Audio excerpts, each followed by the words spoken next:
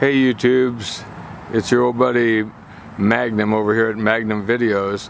What you're looking at there is the uh, exhaust vent or whatever from our fireplace.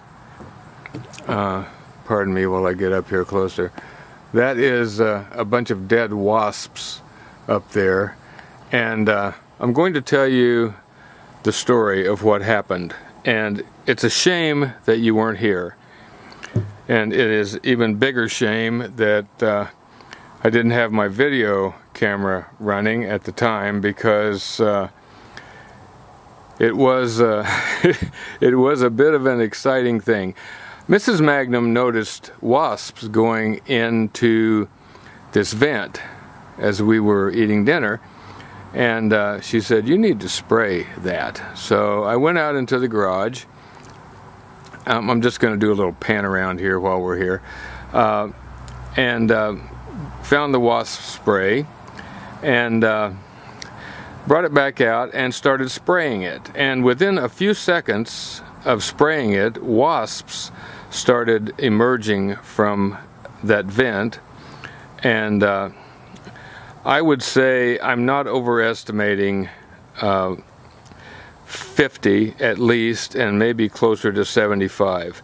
This uh, elephant ear plays a part in this story in a moment. But meanwhile, back at the wasp habitat, uh, they started coming out of there, and uh, they were just climbing out and falling down, trying to fly away and falling down, except for one brave little flyer. And he reminded me of a World War II fighter pilot because he came from from the vent there right directly toward me and uh, I was backing up spraying frantically to try to uh, convince him to go away. And uh, as, as I continued backing up, I was going right along, right along this path here on the concrete, heading in that direction. And about at this point here, as I was trying to fend the wasp away, uh, and backing up, I got a little overbalanced. And uh, it was all my feet could do to stay under me as I continued to get further uh, toward capsizing and ending up with my head hitting one of these rocks down here.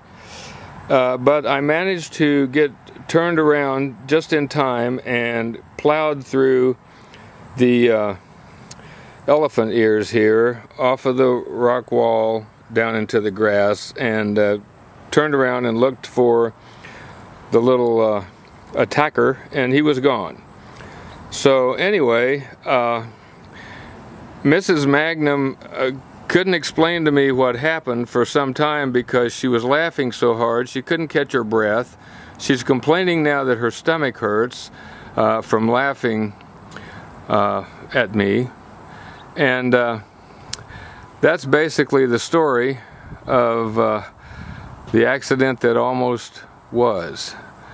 So until I speak with you again, we're out of focus. Until I speak with you again, and even after that, you stay focused.